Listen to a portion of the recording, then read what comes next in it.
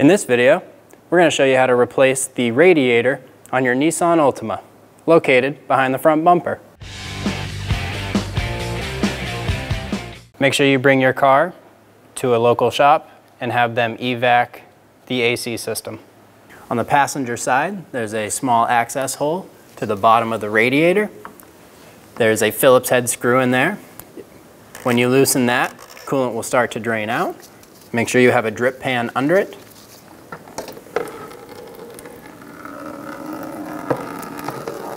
To make the coolant drain faster, you can open the cap on the top of the radiator. Remove the four clips on top of the grill.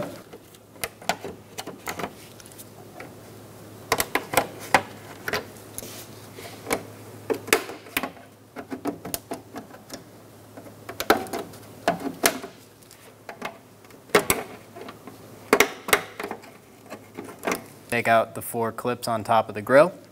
There's going to be a clip on the side, push in to release the clip and pull the grill forward.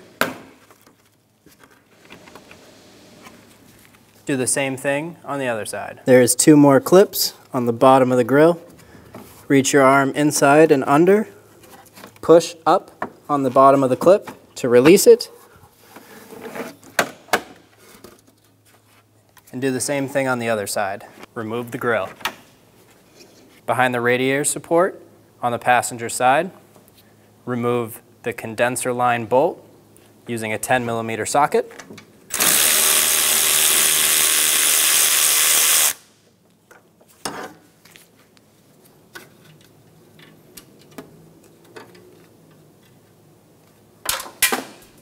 On the front side of the bumper support, remove the 10 millimeter bolt on the condenser lines.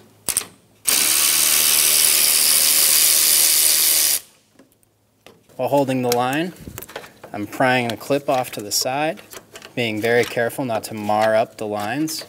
They're aluminum, they're very fragile. Once you have the lock off to the side,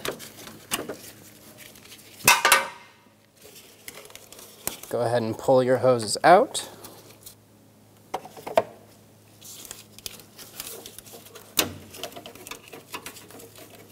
On both sides where we just took bolts out. Go ahead and pop the lines out.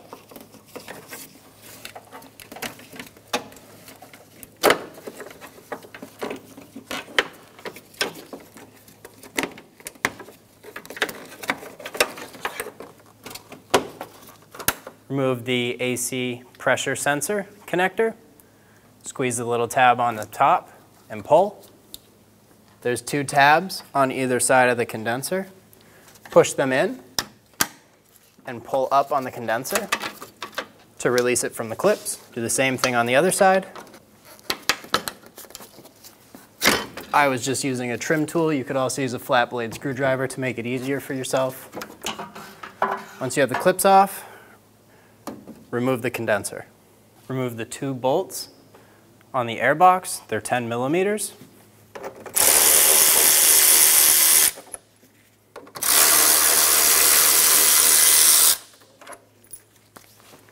Remove the air box, push in, tilt up, and pull out. Take the bracket off. Using a 10 millimeter socket. There's another bracket in the middle. Same thing, 10 millimeter bolt. Remove the upper radiator hose clamp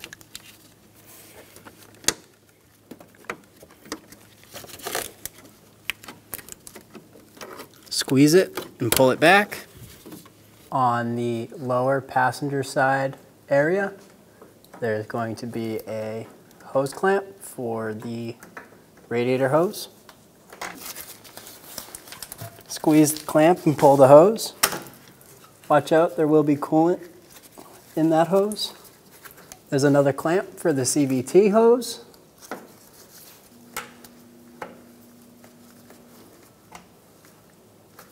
pull the clamp back and remove the hose. On the top driver side of the radiator, there's one more CVT hose clamp.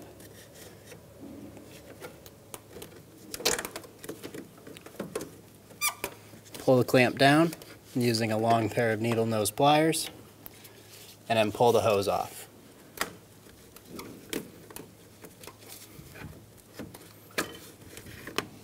Remove the clips on the radiator isolator bushings.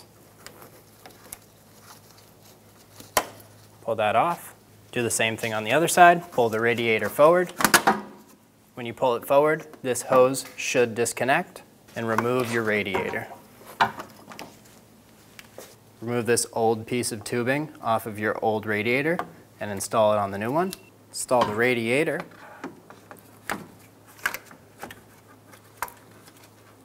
Make sure that the pins are sitting in those bushings.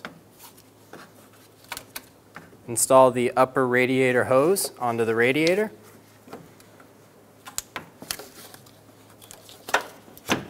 Install the radiator support bushing and clip.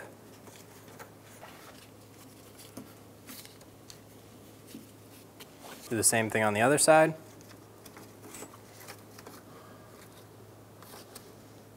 Install the new condenser. Slide it into place. Push the condenser down into place until it clicks. Install the pressure sensor connector. Put a little bit of AC oil around your O-rings. Install the line set.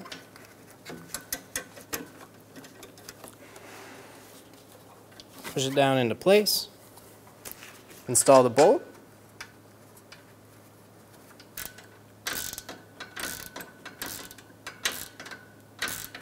And torque it to six and a half foot-pounds. Install the 10 millimeter bolt on the radiator hose bracket. Snug it down.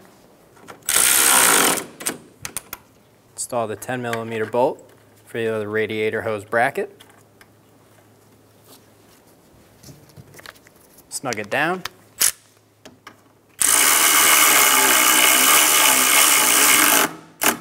Put a little bit of oil around the two line connections and install it into the condenser line set. Install the 10 millimeter bolt. Snug it down.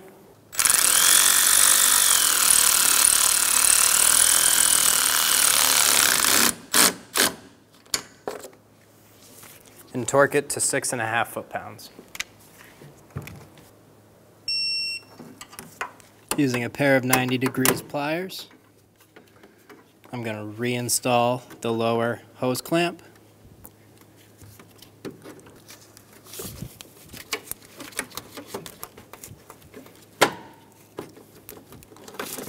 Remove the cap off the CVT hose on the radiator. Push the hose all the way up onto the fitting. Using a set of long needle nose pliers. Grab the clamp. Move it up. Remove the cap off the CVT. Install the CVT hose and install the hose clamp.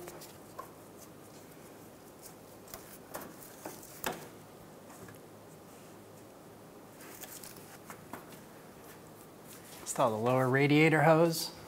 Slide the clamp forward.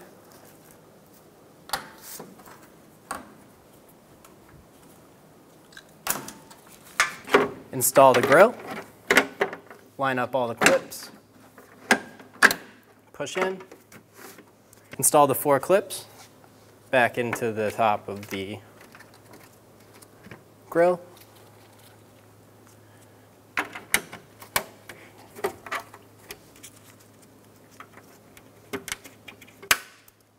Install the air box, push it in, twist down, and install your 10 millimeter bolts. Snug down the bolts.